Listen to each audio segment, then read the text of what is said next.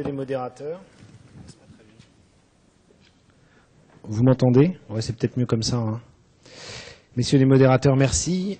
Bonjour, euh, bonsoir à tous. Euh, donc je vais vous parler de pneumonie communautaire grave, euh, quand y penser. Juste une diapositive de, conflit d'intérêt. J'ai pas de conflit d'intérêt en, en, rapport avec, avec cette présentation. Alors les pneumonies virales communautaires, on en entend beaucoup parler ces derniers temps, notamment à cause de la pandémie H1N1, euh, mais euh, finalement ça existe depuis toujours et euh, on a l'impression sur les dernières années qu'on a une augmentation de l'incidence ou en tout cas de la fréquence avec laquelle on, les détecte.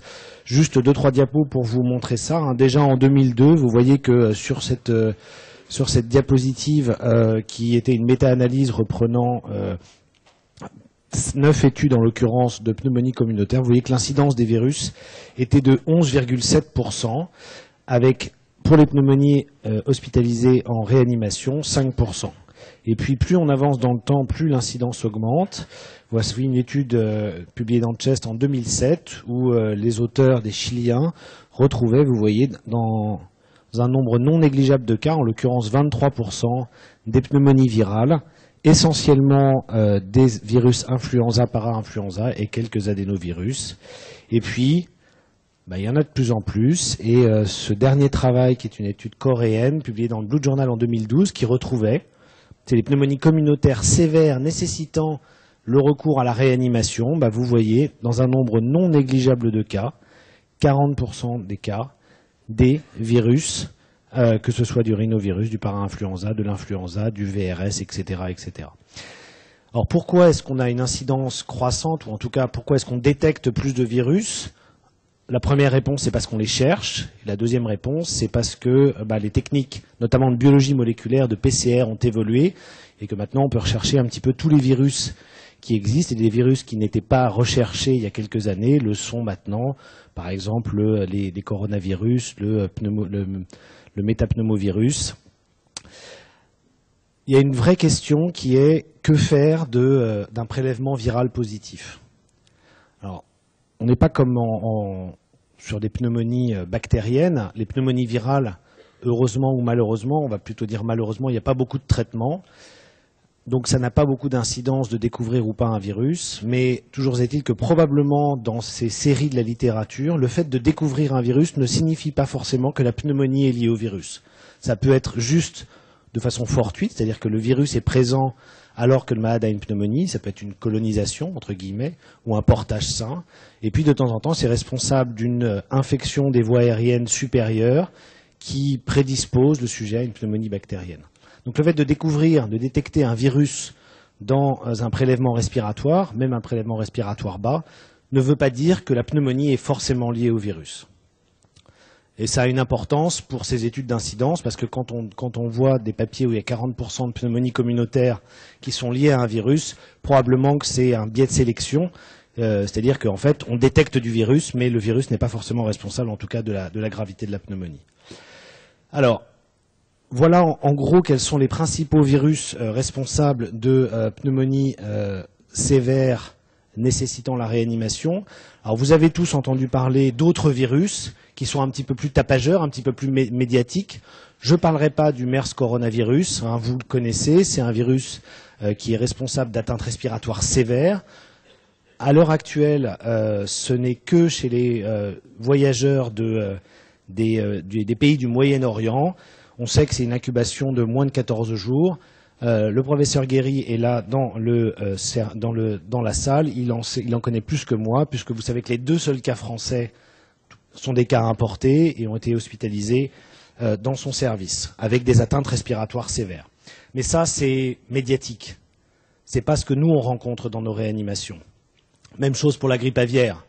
Ça fait beaucoup parler, ça fait beaucoup couler d'encre. Le nombre de cas, finalement, Là, c'était au total et de, c'est beaucoup, hein, mais c'est 650 cas.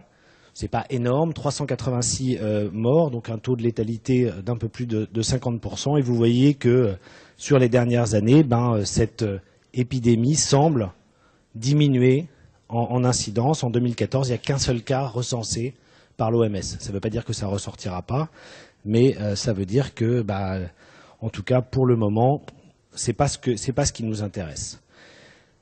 Et puis d'ailleurs, bah, les cas de, d'influenza, de H5N1, bah, il n'y en a pas en France, c'est essentiellement euh, dans le sud-est asiatique. Et puis il y a quelques virus qui sont responsables d'atteintes respiratoires, mais de façon sporadique. Le euh, virus, vous connaissez euh, cette euh, couverture de journal hein, où il y avait des touristes français qui étaient dans un parc en Californie et où il y avait des risques de développement d'une maladie à hantavirus, le, syndrome pulmonaire à hantavirus.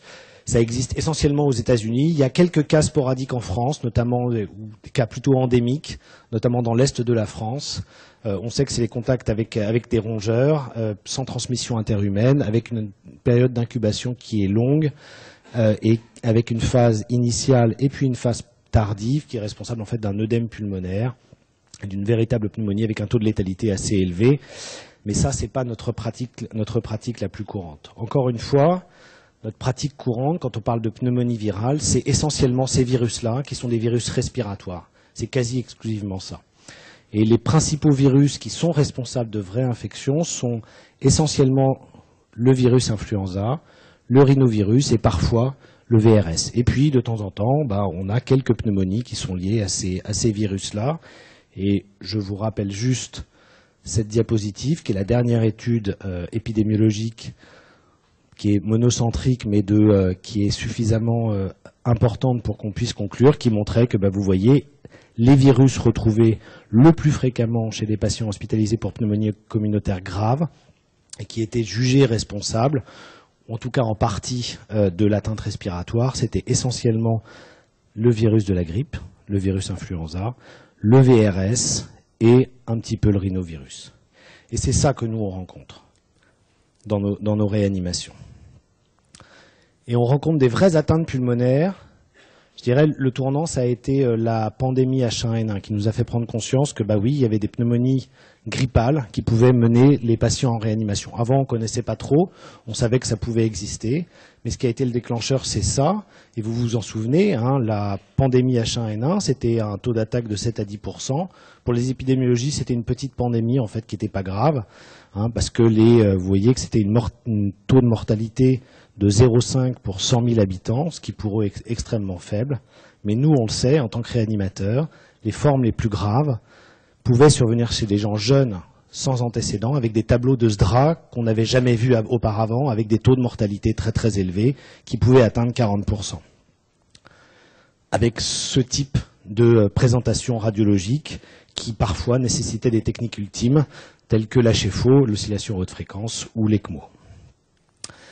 Qu'en est-il maintenant Puisque vous savez que ça, c'était en 2009. Bah, maintenant, on sait qu'on a à nouveau, euh, enfin qu'on a toujours, pardon, des cas graves de grippe, notamment au virus H1N1, que le virus circule et circulera probablement dans les années à venir. On a associé à ça d'autres sérotypes de virus de la grippe, notamment le H3N2. Et l'année dernière, 20 à 30% des virus isolés sur les pneumonies graves hospitalisées en réanimation nécessitant le plus souvent la ventilation mécanique, c'était du H3N2.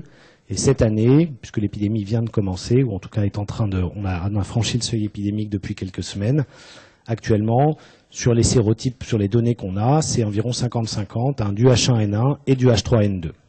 Et puis à côté de ça, on a le H7N9, qui est un virus, euh, on va dire, découvert entre guillemets euh, il y a quelques, euh, quelques mois, enfin un ou deux ans, qui est responsable lui aussi d'atteinte respiratoire, mais qu'on n'observe pas euh, à l'heure actuelle en France.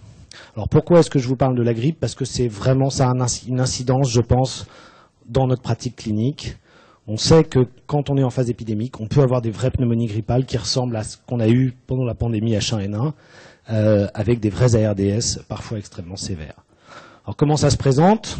Typiquement, c'est une incubation de 5 à 7 jours, vous le savez, un syndrome pseudo-grippal, qui est souvent associé à des symptômes gastro-intestinaux, et puis qui aboutit à une pneumonie qui peut être mineure, enfin modérée, ou majeure, très sévère, qui entraîne un, enfin qui se complique et devient un ARDS qui, de temps en temps, nécessite des techniques de ultimes telles que l'ECMO ou la HFO, il n'y a pas de symptômes spécifiques, euh, c'est un syndrome pseudo-grippal, et puis euh, apparaît petit à petit une dyspnée, une toux, etc. Je pense que le message principal, c'est que à l'heure actuelle, pendant euh, l'hiver et la pandémie grippale, il faut y penser systématiquement. Et encore une fois, ça a potentiellement, on pourra en discuter si vous voulez, mais ça a potentiellement une incidence sur le traitement. Alors vous le savez, euh, il y a dans tous les textbooks des différences entre euh, ce qui suggère une pneumonie virale, les différences entre pneumonie virale et pneumonie bactérienne. Les pneumonies virales, c'est pendant une épidémie en général, avec une histoire de la maladie progressive qui commence par des symptômes rhinopharyngés ou des symptômes généraux, avec euh, une rhinite, euh, de la toux, des myalgies, de la fièvre. Typiquement, on sait on dit que les globules blancs sont inférieurs à 10 000 avec peu de syndrome inflammatoire et que la radiographie retrouve des infiltrats interstitiels. Alors qu'à l'inverse, la euh, pneumonie bactérienne, il n'y a pas forcément d'épidémie, de, pic, que c'est aigu, tableau de pneumonie aiguë communautaire, avec beaucoup de fièvre, euh, de, une tachypnée, et que typiquement il y a un gros syndrome inflammatoire avec une pneumonie lobaire à la radiographie. Ce qu'on a appris sur les données récentes, euh, alors tout de suite pour vous le dire, hein, comme vous le savez, environ la moitié des pneumonies virales liées à la grippe, puisque c'est essentiellement ça qui nous intéresse, se compliquent de co-infection ou de surinfection bactérienne et que ce tableau clinique, en fait, bah, il n'est pas tout à fait si tranché que ça et que bah, on peut avoir des pneumonies grippales surinfectées avec un tableau biologique, clinico-biologique de pneumonie bactérienne. Pour ce qui est de la radio, euh, pour les dernières euh, pneumonies virales, le SRAS, le H5N1 et le H1N1, Habituellement, c'était initialement des infiltrats, là c'est des radios qu'on de, malades qui étaient chez nous, hein, des infiltrats interstitiels, patchy et bilatéraux, qui peuvent, évoluer dans les formes les plus graves vers la RDS, mais on a eu aussi des cas de pneumonie lobaire, en fait, qui étaient des co-infections euh, d'une pneumonie euh, virale. Un point important, c'est euh, le traitement. Vous savez qu'on a certains antiviraux, pas beaucoup, mais certains antiviraux qui sont accessibles et qui peuvent être actifs sur certains virus. On va dire les, les imiteurs de la neuraminidase, les oltamivir, zanamivir, peramivir sont les plus utilisés et ceux qu'on connaît le mieux, qui marchent sur le virus influenza. On a pour certaines formes graves de VRS la, ribavirine qui existe par voie IV, le cidofovir pour l'adénovirus, mais c'est exceptionnel de devoir l'utiliser, c'est essentiellement chez les immunodéprimés. Le pléconaril pour le rhinovirus et l'entérovirus n'est pas commercialisé. Et puis, la ribavirine pourrait être active euh, dans certaines formes de métapneumovirus, mais euh, moi, je n'ai pas eu connaissance de pneumonie grave à métapneumovirus, en tout cas, pas d'expérience, et on a cité la ribavirine. Et puis, pour la rougeole, la ribavirine peut être donnée, mais ce n'est pas prouvé. Alors pourquoi est-ce que c'est important de rechercher et de détecter la grippe, notamment en période épidémique? Parce qu'on a un traitement. Parce qu'on a un traitement, et vous le connaissez, les recommandations qui sont des, plutôt des euh, avis d'experts disent que euh, bah, quand on a une grippe sévère, hospitalisée en réanimation, le traitement de référence est l'oseltamivir, mais qui n'existe que par voie orale à l'heure actuelle, plutôt donné à double dose, c'est-à-dire 150 mg deux fois par jour, pour une durée probablement de 10 jours, c'est-à-dire deux fois ce qui est recommandé pour les formes peu, euh, peu graves de grippe, avec un point d'interrogation, parce que ça, les gens ne sont pas tous d'accord sur euh, comment les donner. L'alternative, c'est le zanamivir, qui peut être donné par voie IV, euh, à la dose de 600 mg deux fois par jour, avec, en France, vous savez, c'est une autorisation temporaire d'utilisation de 5 jours qui est renouvelable. Les indications du zanamivir pour les pneumonies grippales sont floues probablement si la voie entérale n'est pas possible, puisqu'on ne peut pas donner de zeltamivir, s'il existe une résistance à l'oseltamivir, mais encore faut-il la rechercher et avoir cette information assez rapidement, et s'il existe une persistance de l'excrétion virale malgré le traitement par oseltamivir, là il y a un point d'interrogation. Des gens disent que probablement s'il persiste une excrétion virale, bah, il vaut mieux traiter et donner du zanamivir parce que ça veut dire que le processus inflammatoire persiste. On a eu des exemples de grippe très sévères où euh, on a eu des excrétions virales extrêmement prolongées, y compris après sevrage de la ventilation mécanique et y compris après la sortie du malade de réanimation. Donc la persistance de l'excrétion virale, on ne sait pas trop quoi en faire, on a envie de la traiter, mais on ne sait pas si euh, ça, impacte le pronostic. Ce qui est sûr, c'est que dans ces pneumonies virales, notamment la grippe. Hein, on le sait, durant la, pandémie H1N1, euh, bah, il y a environ un quart des patients qui avaient une, co-infection ou une surinfection bactérienne prouvée, documentée, probablement plus avaient une co-infection, mais comme on donne des antibiotiques systématiquement à ces malades, elles n'étaient peut-être pas détectées. Et que bah, chez ces patients qui ont des pneumonies virales sévères, les antibiotiques doivent être donnés de façon empirique, avec une réévaluation au troisième jour, avec peut-être une place pour la procalcitonine. Euh, je n'en suis pas persuadé, mais je vous ai mis juste en diapositive ce, travail de euh, l'équipe d'Henri Mondor, de Christian Bramisson, qui montrait que dans les formes graves de, grippe hospitalisées en réanimation, bah, la procalcitonine permettait de séparer de façon grossière ceux qui avaient une co-infection bactérienne de ceux qui avaient une infection virale seule. Un petit mot sur les corticoïdes. Euh, retenez que euh, dans les pneumonies virales, c'est contre-indiqué. Hein. Des données euh, contradictoires entre des essais randomisés, enfin un essai randomisé et puis des données de la littérature. En tout cas, les corticoïdes, sur trois études, ça semble être associé avec un pronostic défavorable sur les infections grippales à H1N1 sévères, je pense qu'actuellement on peut recommander de ne pas en donner. On sait qu'en tout cas ça prolonge, sur les grippes saisonnières, ça prolonge le portage viral, et que sur les autres, notamment l'infection AVRS, qui est une des trois plus fréquentes infections euh, virales qui donnent des pneumonies en réanimation, bah, c'est complètement, euh, complètement inefficace. Voilà ce que, ce que je voulais vous dire. Donc, quand pensez à, une pneumonie virale, Souvenez-vous que c'est fréquent, hein, c'est 10 à 20% Je pense que les chiffres de 40% c'est un petit peu, c'est pas truandé, mais ça veut dire qu'on détecte des virus, mais qui ne sont pas forcément responsables de la maladie. Euh, mais c'est fréquent. Quand y penser, bah, c'est probablement tout le temps, notamment en phase épidémique. Hein, il faut le rechercher. On sait que ces pneumonies, euh, ces pneumonies virales euh, sont a des co-infections ou des surinfections extrêmement fréquentes. Les virus, c'est essentiellement des virus respiratoires. Hein. c'est du virus influenza, du rhinovirus, du virus par influenza, du VRS. On a quelques virus qui sont anecdotiques hein, dans d'autres situations, mais euh, euh, il peut y avoir la rougeole, j'en reviendrai juste après. Le MERS-CoV, là, c'est vraiment des cas importés. Hein. Euh, il faut vraiment les rechercher que chez les, gens qui reviennent de, pays endémiques. Le hantavirus, en cas de, en cas de contact avec des rongeurs. Mais la vraie question, c'est quand y penser. Est-ce qu'on doit donner de, de l'oseltamivir en probabiliste pendant la, période de grippe, l'épidémie grippale Mon sentiment, et peut-être qu'on pourra en discuter, mon sentiment c'est oui. C'est-à-dire que toute pneumonie grave hospitalisée en réanimation à l'heure actuelle, vu les tableaux cliniques de pneumonie qu'on a, de pneumonie grippale, je pense qu'il faut les donner il faut rechercher la grippe, arrêter le zeltamivir si euh, les prélèvements sont négatifs, mais en tout cas en probabiliste, il faut donner de l'oseltamivir parce qu'on sait que cet antiviral, il n'est actif que euh, dans les premiers jours de l'infection. C'est-à-dire que toutes les études n'ont retrouvé un bénéfice que quand il a été donné précocement, au mieux dès le début des symptômes, et euh, on sait qu'après 48 heures d'évolution des symptômes, probablement, probablement que c'est inefficace. On ne sait pas sur les pneumonies graves, mais probablement que c'est inefficace. Et qu'il faut les donner à la double dose. Et une fois que c'est confirmé, c'est probablement 10 jours. En tout cas, c'est ce que ce que nous on fait dans le service.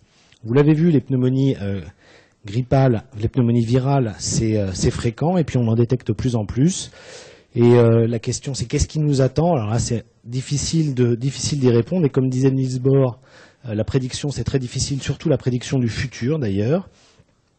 Mais souvenez-vous euh, de ce qui s'est passé il y a quelques années. En 2011, il y a eu une épidémie de rougeole en France, hein, avec des atteintes pulmonaires sévères. Et puis souvenez-vous qu'il n'y a pas très longtemps, il y a 12 ans, il y a eu une épidémie, une pandémie mondiale, le SRAS, qui a fait euh, près de 800 morts en quelques mois, avec une épidémie qui s'est éteinte très vite. Mais euh, ce qui est sûr, c'est que, bah, comme disait cet éditorial du Times, on aura apporté des masques. On a évité, euh, avec la pandémie H1N1, quelque chose de quelque chose de potentiellement grave. Les virologistes, enfin les virologues disent que bah, on peut être tout à fait confronté à un virus qui serait à la fois virulent comme le H1N1 et extrêmement contagieux comme un sérotype, euh, sérotype saisonnier, et que bah, si, on, ça, ça arrive, bah, on, sera face à une, une, pandémie type grippe espagnole, et que donc bah, les masques, on aura à les reporter dans le futur. Je vous remercie.